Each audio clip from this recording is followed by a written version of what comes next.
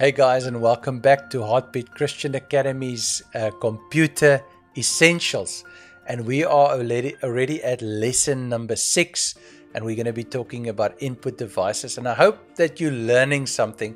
That is what it's about. This course is not going to train you to be a technician. Uh, there's other courses for that.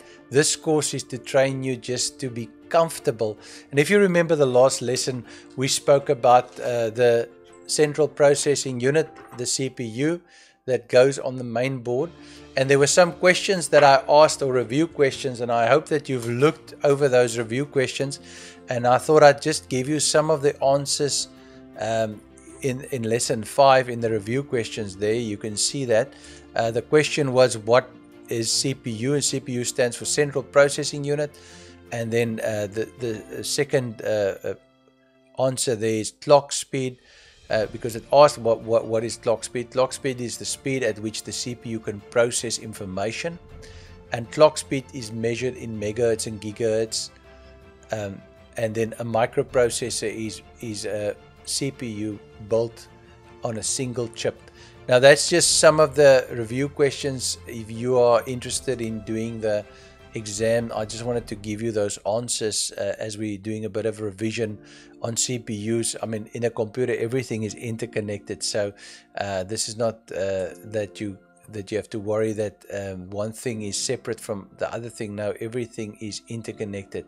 And today, as I said, we are talking about input devices. Uh, there's the banking details if you feel you want to support us and you are deriving value from this course, then uh, you are welcome to support us. And if you need to contact us, you have questions, there's the cell number and the email address. So let's get into this lecture today as we are talking about input devices. And I've, I've just uh, taken some pictures of different input devices uh, so that you can sort of get an idea of what an input device is. An input device is any device that actually it puts data into the computer. So when I type something on my keyboard, so I'm typing uh, Richard on my keyboard, I'm inputting data, therefore it's an input device. When I've got a webcam like I've got on here or a camera, and the camera is capturing images, it's taking it into the computer. Uh, when I'm using my mouse and I'm right clicking, left clicking, hovering over things, selecting things the same. A touchscreen also input because I'm putting data into the computer. Uh, a touchscreen coincidentally can be an input and an output device because it's also outputting uh, what you're putting in again. So that's that's a dual device. And then a scanner, you put a document into your scanner or anything that you want to scan in there and you scan it to your computer and the same with a microphone. Uh, you, you connect this microphone via one of the ports, the uh, 3.5 uh, jack ports or via USB and you start talking and it, it actually takes your voice and it and it takes it into the computer. Uh, the trackball one is, is slightly outdated but it, it's also in there. Uh, so that is what what uh, when we talk about input devices that's what we're talking about.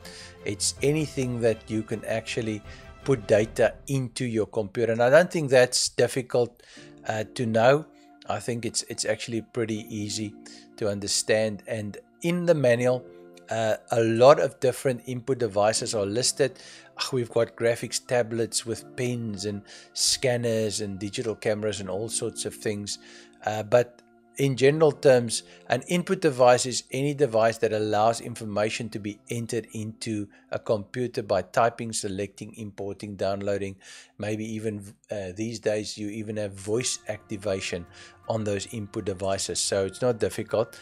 Uh, I've just uh, taken it a step further here to actually show you the input output connectors that's on the board because this is something on the main board that you can understand when, when you start looking at input and output.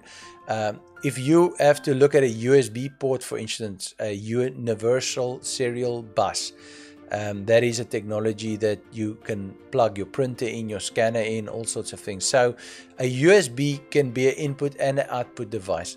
If you look at a VGA where, where you've got a screen, uh, you, you know, Strictly speaking, it can also be in an output if you're using a touch screen, but mostly it's it's used for output.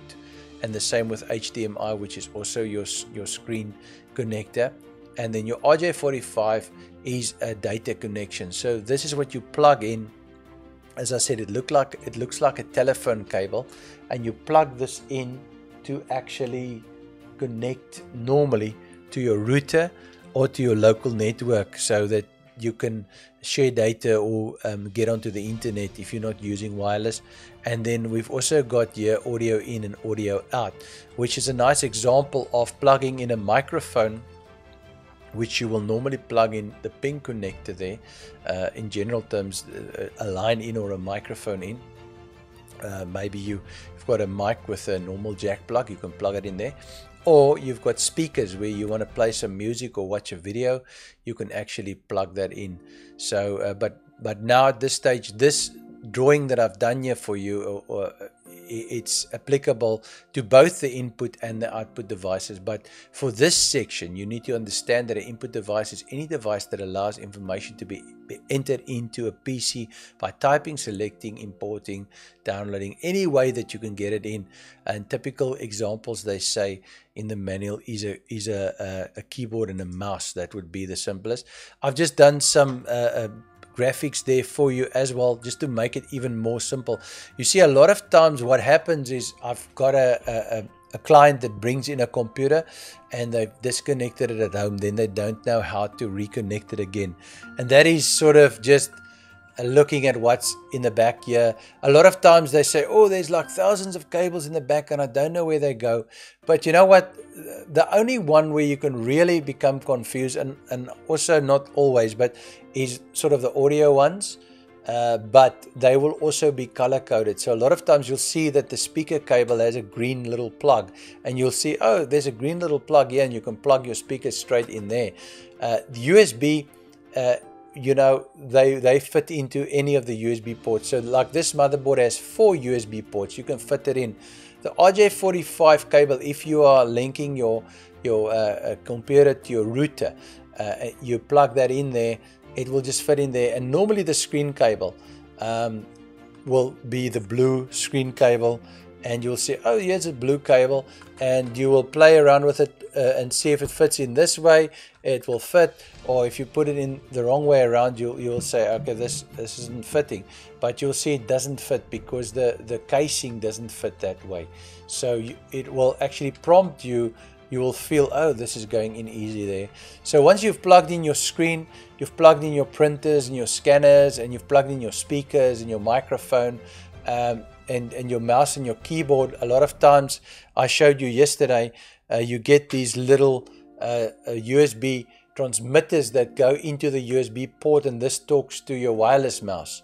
So, uh, you know, you plug this in and, and Windows detects it. And uh, so, you know, to take your computer uh, apart in the sense of just uh, disconnecting it is, is really not dangerous because everything should go in exactly the same way.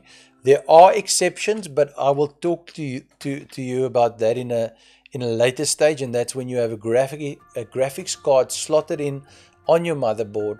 Uh, you will have additional graphics ports here where the graphics card is actually slotted in, and that is um, th that is to actually boost graphics memory. And uh, then you won't use the blue port here. You will rather use the HDMI or the or the port on the graphics card. But that's like I say, that gets very technical. For this lesson, you know, I, again, I'm going much wider than I'm supposed to go because I want to share the information. Uh, it, I want to uh, demystify things, and I also want you to be comfortable with uh, your computer and say, you know what, I can take my cables out, it's not a problem. Even if I open up my side cover of my computer and I look at it, oh, I can see everything that's in there. It's, it's everything I learned in the course. There's the motherboard, there's the CPU, there's the RAM. Uh, there's the uh, the hard drive there's the dvd writer or the blu-ray writer so i can see everything is there so there's no um, difficulty a lot of times what we fear sort of becomes clouded for us but if we don't fear it and we know it then uh, even when somebody says, "Oh, you know what? I bought myself a new i5." Oh, you understand that is three CPUs up in the Intel range. You get Celeron, Dual-Core, i3, uh, sorry, 4, and then i5. Or somebody said, "I bought an i7." You say, "Oh, that's the top of the range." You know what you're buying. Even with RAM. We'll talk about that in, in the following lecture. So, by the end of Computer Essentials, you will not fear anything anymore. There's just another example of a, a, USB cable going into the computer and then the webcam sort of being mounted on the screen. And interestingly enough, this webcam has a little microphone in it as well. So the USB port actually now supports a microphone and a video signal, which is nice because now if your microphone is standing in front of you or your, your webcam, your audio is going straight into the webcam and the quality is much better because maybe the laptop, the position of the audio is just uh, awkward and uh, you are talking up but uh, you're recording down so you're getting a bit of a muffled sound. But with your webcam and the audio being on your webcam you can actually then get a better quality sound and you have your image and it all goes into a USB port. Here you've got somebody drawing on a tablet and uh, I've seen a lot of people actually giving classes this way in Zoom where they want to make some notes and stuff for students. So this is a tablet that connects to the computer via a USB port into the back of the computer. And now it's an input device. They can actually now write on that and give some illustrations so that the students can actually see exactly what they're doing. I just wanted to sort of give you some more information so that you know exactly what's going on and that you don't feel uncomfortable. And then uh, the only thing you need to be able to do is explain the term input device. So that's very simple for this lesson. And then also you have to uh, just say what is a scanner used for and um, maybe you should say what is a flatbed scanner used for? Because this is when you want to scan documents or photos uh, into your computer. So it's a, so you're bringing data into the computer via the scanner.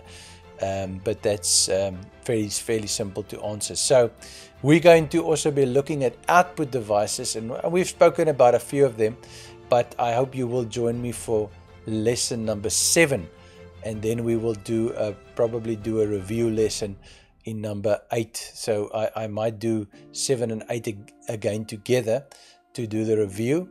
And uh, I hope to see you in lesson number seven when we talk about output devices.